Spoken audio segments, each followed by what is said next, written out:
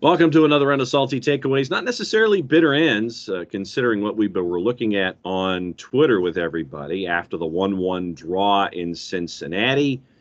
And looking at the juice boxes, once again, the largest number on the board was the one that ended up with uh, the winning side. I forget, Jarrett, which uh, match of ours is the next one up when it comes to our, I think it's a seven pack this week, but looking at the uh, the results from juice boxes, it was a plus 248 for the draw, where FC Cincinnati was a plus 118, Atlanta United a plus 227. FC Cincinnati still has not won a home match in their last 20 plus. So, Jarrett, uh, opening statement from the match for FC Cincinnati and Atlanta United.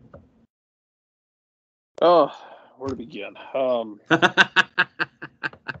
man, it's it's just exhausting all of the draws that Atlanta United has put together and getting to the point where it's it's good not to drop points, but you get to the point you're going to have to start stealing points because you've had points that you've given away.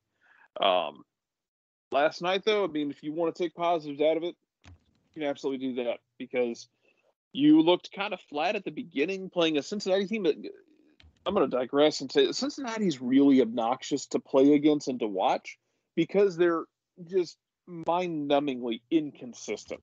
Mm-hmm. Um, Cincinnati can show up like they did last night, where they played fairly well. They played well until Stam got scared and flinched in the last 25 minutes. Um, but they played really well, and it was night and day from the team that went to Montreal and just got like just get run over. It was five four to Montreal in a game where they're scoring at will, but they can't stop anybody. Uh, and Vermeer just goes from goes from being a nightmare goalkeeper, he turns into who God was this Kenneth minutes. Vermeer that we saw last night? Cincinnati is so inconsistent, and the problem with inconsistent teams is you get games like this sometimes where uh, somebody for their team will show up and just like, oh, I didn't know he could do that, son of a gun, and then you will all learn together that oh, they have that in them. They just can't harness it, and you just kind of sometimes you just catch the misfortune of being the team that catches them on the good day. But ultimately, you know, Atlanta goes in. They kind of start a little slow. Alec Kann comes up with saves when he needs to to keep you in things, and Atlanta grows into the game. And by the end of it, you know, you're looking at it. It's really easy, I think, to forget the, the saves Kann had at the beginning of the game when you look at the grand scheme of things and say, well, Kenneth Vermeer is out there keeping Atlanta from scoring three goals at the end of the game. Both keepers stood up and did what they had to do. And it was a fun game to watch, even though it ended 1 1. Uh, you created chances. I think you had 22 shots on goal, which Cincinnati can kind of leak shots anyway, mm-hmm. which is stunning because we thought Stam was going to come in here and have Cincinnati actually playing defense, like they get forward just fine. Like they they're not great defensively at all. No. They're, I mean, they invite you to shoot from 20 yards, and Atlanta was more than happy to do it. Um, Rossetto pulled the trigger and damn near won the game with a golazo. Um, you forced Kenneth Vermeer to have to make shots, and more importantly, I give him credit it wasn't just the shot stopping on some of the long ones. Did a good job of corralling them and not giving up the rebound because uh, Conway and later Joseph were looking for those rebounds and guys coming barreling in. Uh, Conway's going to feel like he had a couple opportunities he missed in the first half, which is understandable. But I thought the first half Cincinnati was a little bit better. Maybe not as much. Like I know Kann had to make the saves. Atlanta also just flat out missed a couple of opportunities. Uh, you have Conway headed over the bar, Mulraney with his diving header just barely on the wrong side of the post. Um, I don't think it was as one sided in the first half as maybe people think it was. That's just my opinion. And the second half, I mean, Cincinnati gets the goal because Luciano Acosta is his eternal goal is to torment Atlanta. But yeah. then you get a goal and then you just you you you lean on them so hard that Jaap gets shook and you know drops into uh drops into like a five man back line. It's like we just got to get out of here with a point. Couple of things out of the blocks. Jackson Conway got the start up top uh, last night. Ronald Hernandez got the start at left back last night. And you mentioned the the early chance. You had the early chance with uh, Jackson Conway in the third, and it was uh, you know Mulraney with a shot, and it was punched out to Conway, and Conway uh, missed the the follow up there. And one of the other folks that I wanted to get into, at least in the early part of the discussion, as we look at the first 45 minutes, Marcelino Moreno, who last night on SofaScore punched an 8.6 on SofaScore last night. I, I think that Marcelino Moreno had to have cloned himself before he ended up in, in Cincinnati on you know the midweek because it seemed like he was everywhere last night. It's like everywhere you turn, Marcelino Moreno was getting mentioned for either being a, the straw in stirring an offensive run or a possession deep in the attacking third, backtracking defensively. Marcelino Moreno was everywhere last night. Marcelino Moreno was the best player on the field, and it wasn't really close last night. Um, he just basically tore Cincinnati open over and over and over again, and it was hilarious. Um, absolutely fantastic. He created a ton of chances. Um, almost won the game at the end. Then like just went through like a frolicking skip through the box with like 20 seconds left in stoppage time uh, creates a corner that you know you kind of hoped would something magical would happen. But Marcelino Moreno's been really good, and I I'll maintain that he's been really good. I think last night the difference was he was really good, and those chances were much more obvious. It was you know him playing in Jackson Conway in a shot that Conway is going to want back. Um, you know him making you know connecting passes and little interplay that was very good that was creating huge chances. I was just over the moon with Marcelino Moreno, and that's the guy that I fe- I feel like me. That's the guy that people saw last year when he came in in the middle of the 2020 season, and people were really excited about him for this season. It's because that player you saw last night is the one they remember, and I think he's been here, but I think that one was you looked at it and was like, oh, that's obviously that guy.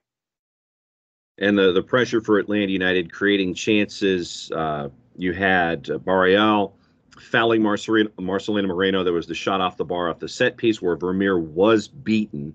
This is all in the first 10 minutes. And then, you know, as you mentioned, the the ebb and flow of that first 45, it looked like the first 10 was Atlanta United. That second 10 was for FC Cincinnati because then you had Brenner, you had Barreal, and we mentioned Marcelino Moreno, who was uh, backtracking on that particular play. And, and, I think that, you know, Atlanta United saw something going up against Geoff Cameron at the back. And, and I think that when you saw uh, the lineup come out and Cameron was back there, I don't know how many times I wrote down that, you know, Vermeer was confused with communication with Geoff Cameron, Geoff Cameron beaten, Geoff Cameron this, Geoff Cameron that. I think that they selected Geoff Cameron for picking and that was one of the weak spots at the back for FC Cincinnati last night. I thought so too at times. Um, he did some good work, um, but at the at the same time, like he, Atlanta was going after it. Um, my favorite part was Jack was uh, him go with Jackson Conway going in and trying to like you know remove his ankles, and then he gets up and wants to fight Jackson. I was like, okay, cool, man. Hey kid, go in there and fight him. Um, can't back down. Go fight him. See what happens. It, it was um it was it, it's it's one of those interesting things. I feel like a lot of times when we bring in these defenders from all over the world, like, oh, you're bringing in somebody to get beat. I kind of feel like that's what's happening more often than not. You also had, you know, we, we mentioned the, the big moments for Alec Kann, and a lot of them were centered around uh, the the Strasbourg uh, acting school graduate, uh, Luciano Acosta. And we'll get into Acosta and, and, a lot of folks on the timeline who uh, had their thoughts uh, as the, and they were pretty salty toward Luciano Acosta. And he, he drove uh, Atlanta United fans crazy with his time at DC United, continued to do so. And we'll get into the uh, the acting in just a bit. But obviously, big saves for Alec Kann in the 24th, in the 28th. And then there was the uh, opportunity that FC Cincinnati had in the 30th, where uh, Hernandez is called for a foul on Joe Gyau. And if you read Hernandez's lips, he says, I didn't touch him. I didn't think he did. It created a set piece for FC Cincinnati. But it didn't uh, get into anything. But it's you know you're you're seeing the the bit of the dark arts happen early, and it was fairly consistent from the FC Cincinnati side.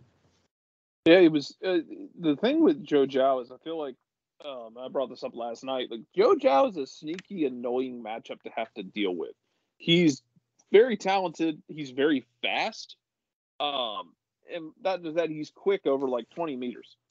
He's kind of a problem in that respect.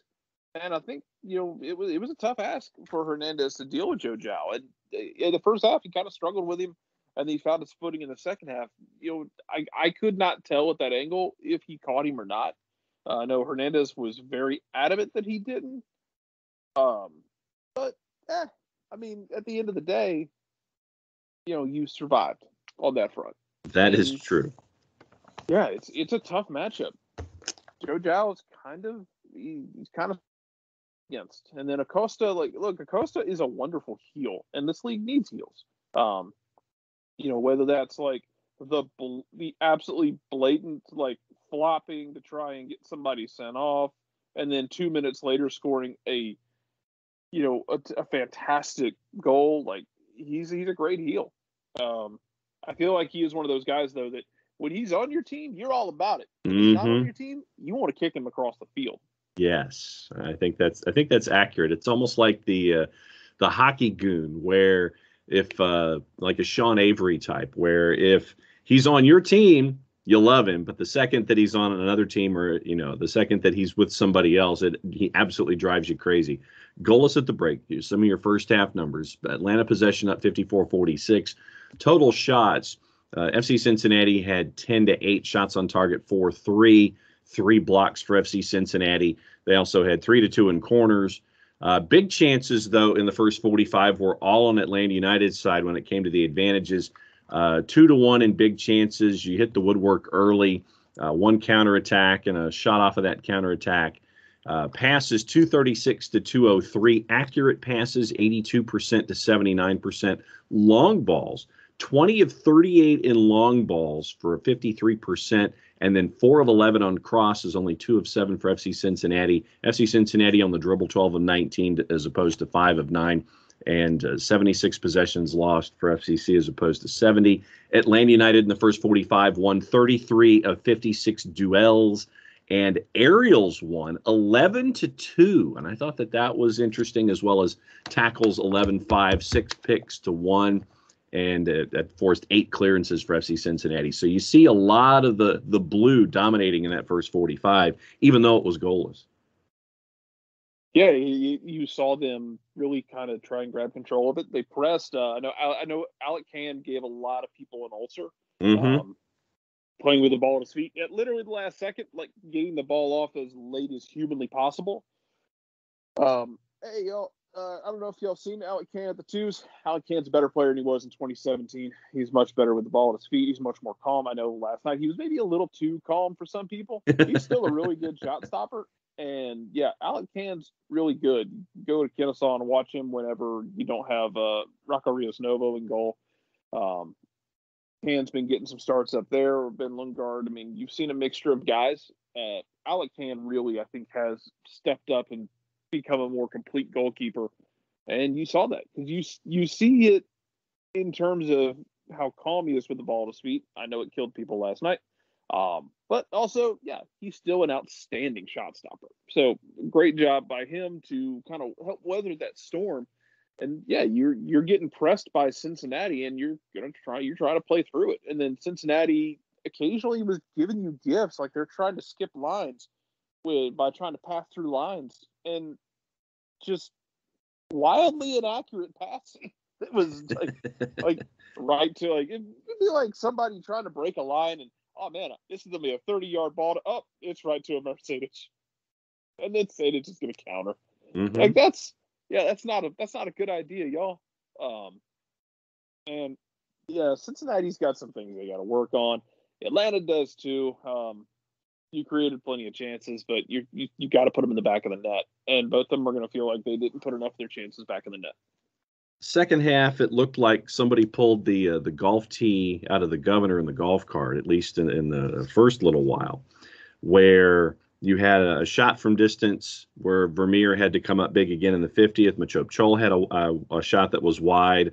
Uh, Barreal in the in the next minute was, uh, you know, that was the, I think that was the one where it hit the post, then it hit Alec Kann on the way back out, and then it trickled wide of the net that almost gave Cincinnati their first goal on the board.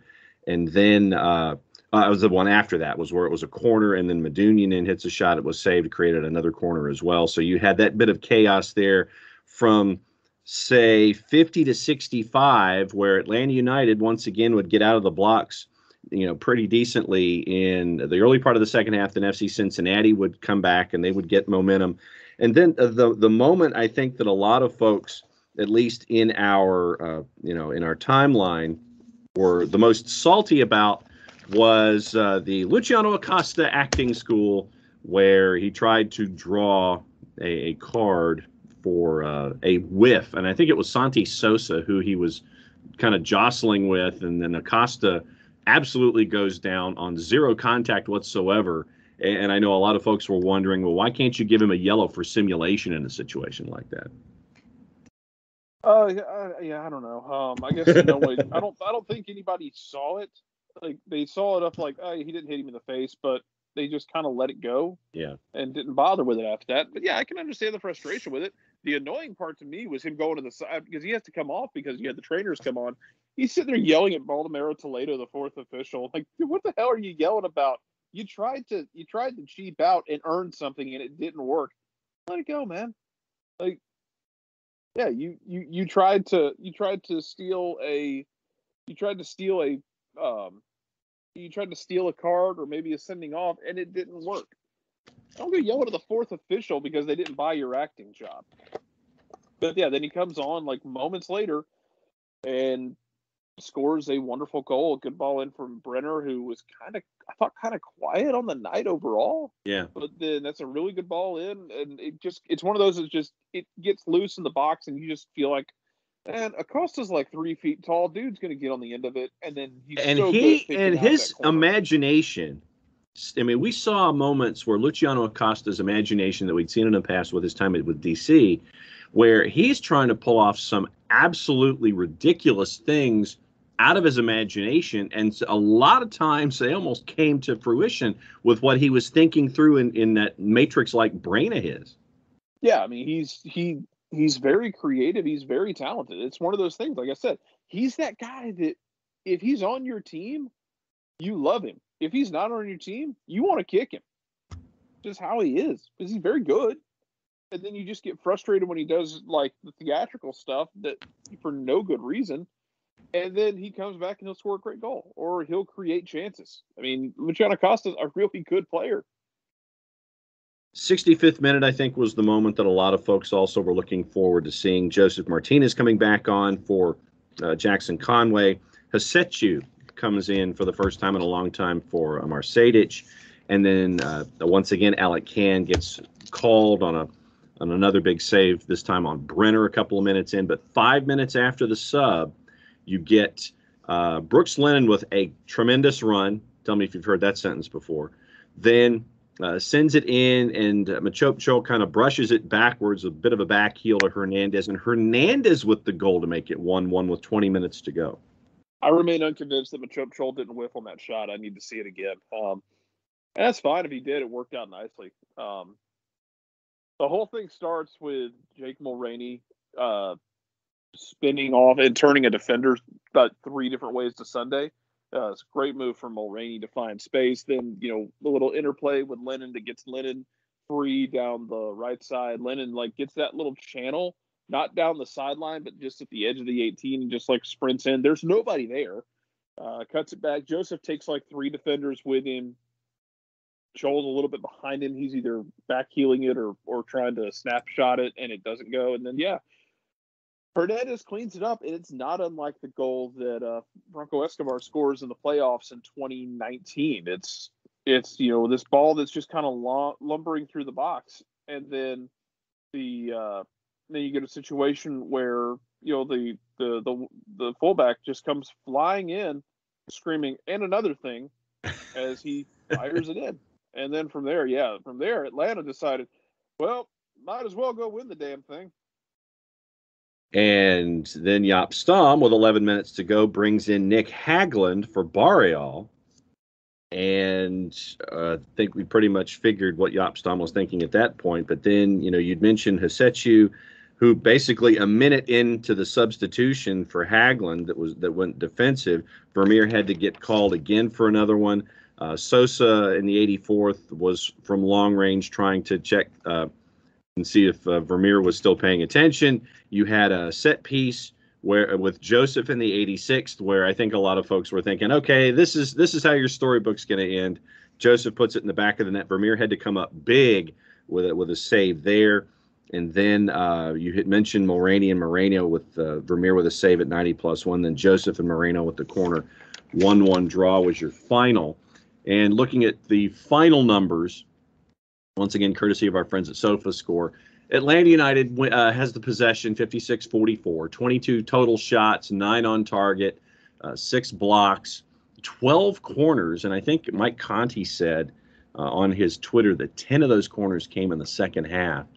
Uh, big chances once again for Atlanta United 3 1 counterattacks. They were credited with one uh, counterattack, 12 shots inside the box, passes uh, 465 to 378, passing at an 84% clip. Long balls at more than 50%, 34 of 64. Uh, completed six of their crosses on the night, six to two in crosses for Atlanta United. Uh, the duels 57 46 for Atlanta United. And the, once again, the aerials 17 of 27 for Atlanta United.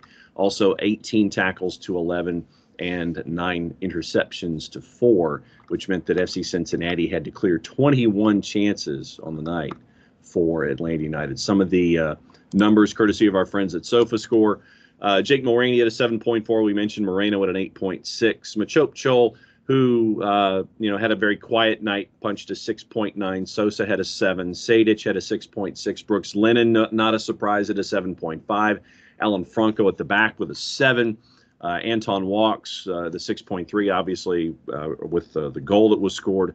Hernandez at a 7.8. Alec Kann at a 7.6. On the night, Atlanta United at a 7.09, according to SofaScore, versus a 6.93 for FC Cincinnati. And so it's another point on the board.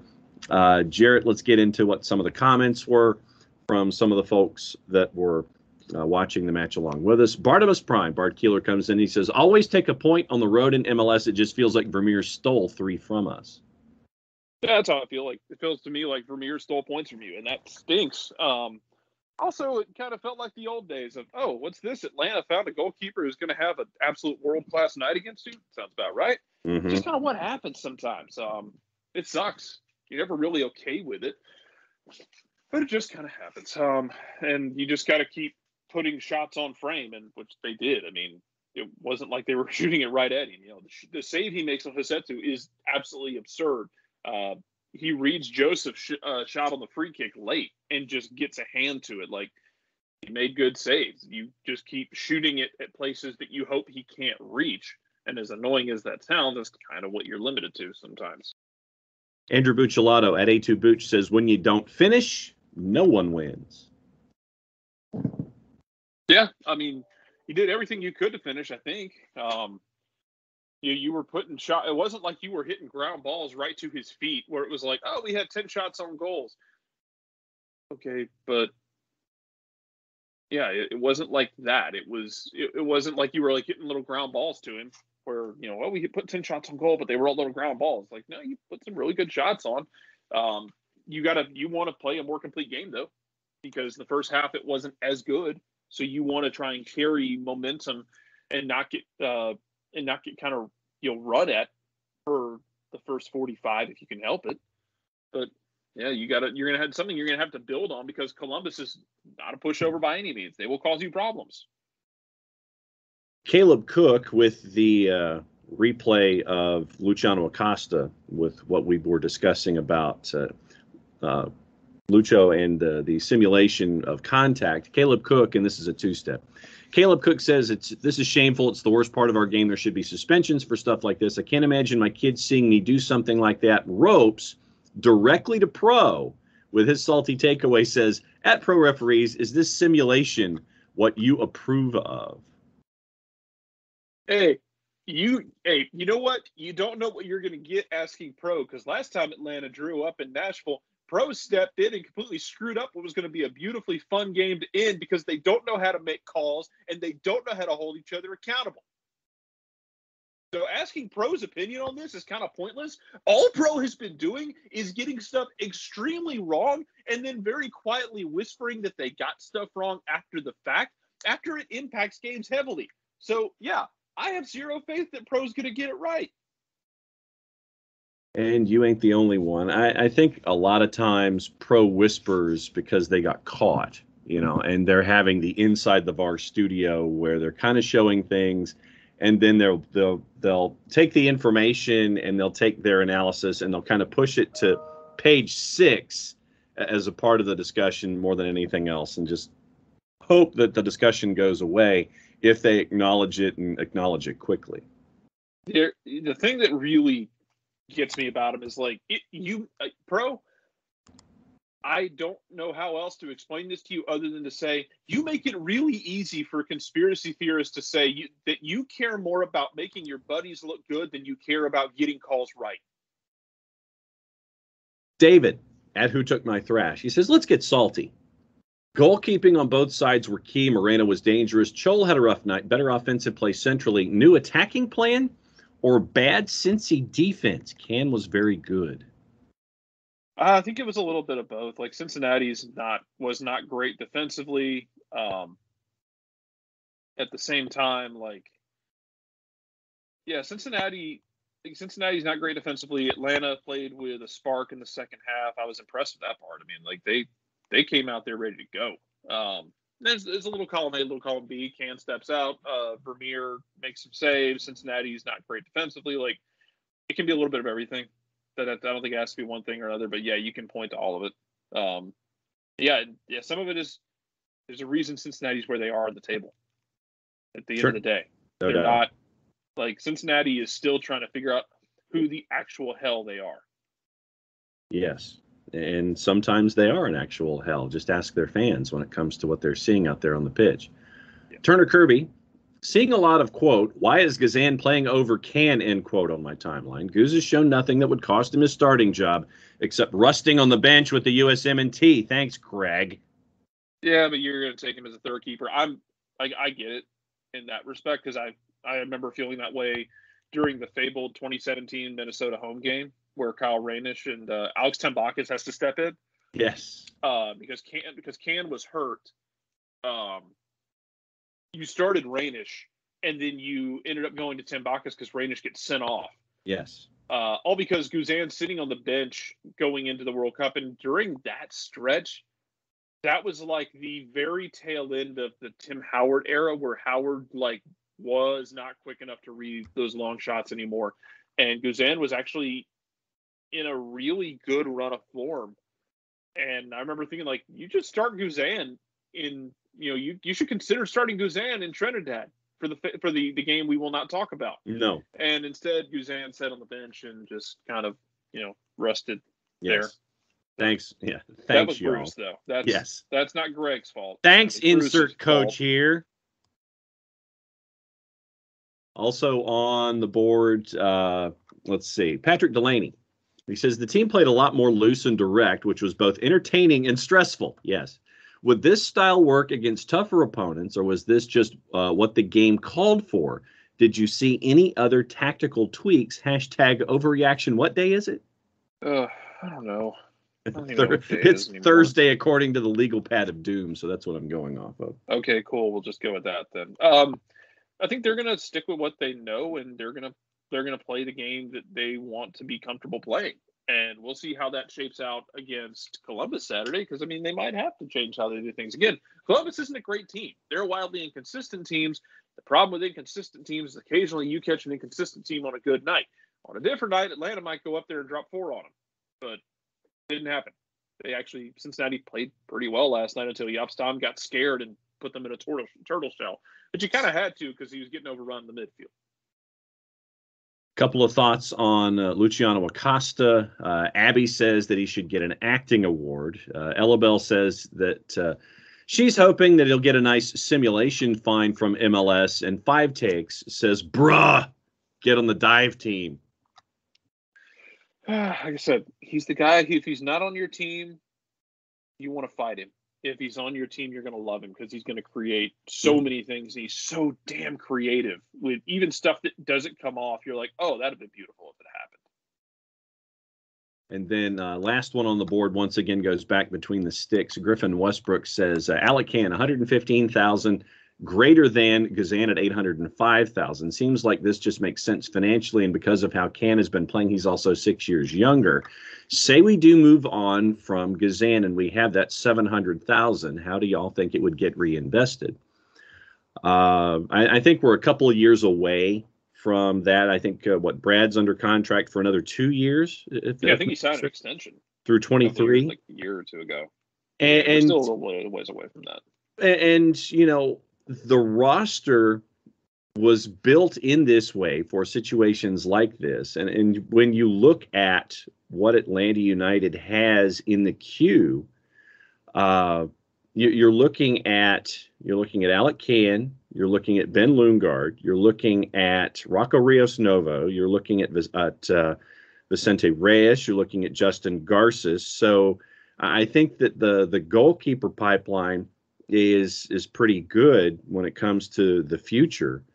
But honestly it's just going to come down to need at that particular time with that that money that you would have on hand. I mean it's not i don't think it's necessarily something that you can sit there and pin down immediately and go well let's spend it on x. It, it literally is going to be at the time that you think that you need to move on, say two years from now at the end of the contract, it probably won't be at keeper, but it's going to be on, you know, it's, is which line is it going to be? Is it going to be in attack? Is it going to be in the midfield? Is it going to be on defense? I think literally it's going to come at come at you. When that moment comes, you're going to look at your roster and figure out how it will best suit you then. I don't think this is a decision that you can sit here and analyze right now because I still think we're a couple of seasons away from it.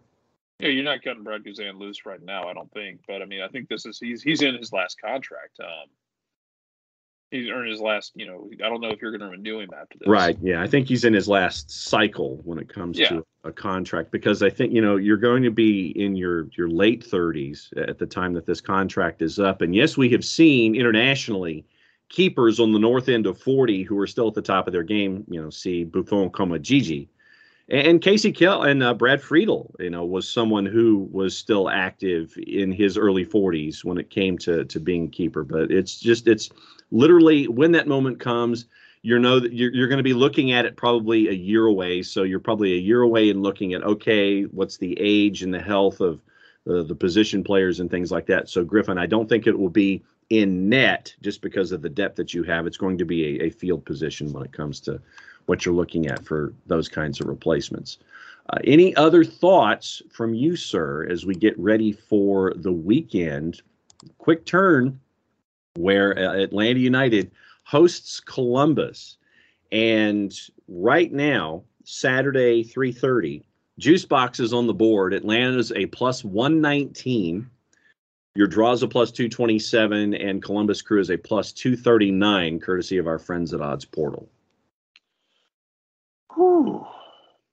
I'm surprised that number is that way. I mean, Columbus is having trouble putting goals in the back of net. I know everyone swooned over the Darlington Nagbe goal this week. Right. It was a wonderful goal. You should yes. swoon over it. It was amazing. Um, but they've had trouble scoring. You know, they don't have Gyasi Zardes right now. Like, they might decide, hey, we're going to come in here, we're going to sit back and do honestly what they did in 2019. I think it was like they came in here and they were like, hey, yeah, we're um, we're going to sit back and we're going to take our counters. They beat Atlanta like three nothing that day. Um, I think I think you might end up with that where they just decide, hey, we're going to sit back, we're going to counter you, and we're going to just um, yeah, we're not in any hurry here because we'll find something on the counter because we've got good skill players. But yeah, that's I guess that explains that number. Um, Atlanta needs three points though. Yes. Like it's great that you got a point on the road. You're to the point now where you would really have loved to have still stolen all three points on the road last night because you need to start stealing points because you've been giving away points. You got to get them back. You need all three points against Columbus. You need a win if for no other reason you're on such a long winless streak. Yeah. Um, but also you need a win just to. I know you have two thirds of the season left.